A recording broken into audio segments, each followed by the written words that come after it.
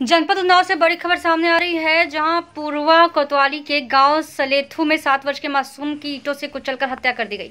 पारिवारिक जनों के अनुसार बच्चा कल शाम को गाँव में ही एक बारात देखने गया था, जब वह वापस नहीं लौटा तो काफ़ी खोजबीन की गई, लेकिन जब पता नहीं चल सका तो परिजनों ने पूर्वा कोतवाली पुलिस को तहरीर देकर अवगत कराया। बता दें, आज गाँव के प्राथमिक स्कूल के पास बच्चे का शव पड़ा मिला, जिसकी सूचना मिलते ही पुलिस अधीक्षक आनंद कुलकर्णी सहित भारी मात्रा में पुलिस फोर्स आनंद फानन में मौके पर पहुँचे और घटनास्थल का निरीक्षण किया। वहीं इस घटना से आक्रोशित ग्रामीणों ने शीघ्र ही घटना का खुलासा करने की मांग की है। पुलिस अधीक्षक ने बताया कि जल्दी ही घटना का खुलासा कर दिया जाएगा। मेरे द्वारा टीमों का गठन कर दिया गया है।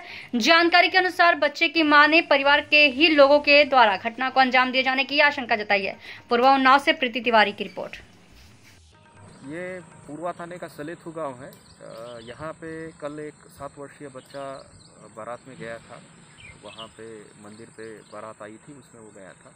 उसके बाद वो वहाँ से घर नहीं लौटा तो घर वालों ने उसकी खोजबीन शुरू की। और जब वापस नहीं आया तो उसके बारे में सूचना थान थाने पे आके उनके द्वारा रात में बारह बजे थाने पे आके सूचना दी गई। इसके बाद पुलिस के द्वारा तत्काल अभियोग पंजीकृत करके मौके पे जाके उसकी तलाश की गई। पर वो उस समय पे मिला नहीं। आज सुबह उसकी एक निर्माणाधीन मकान में डेड बॉडी मिली है। डेड बॉडी पे कुछ चोटें भी है।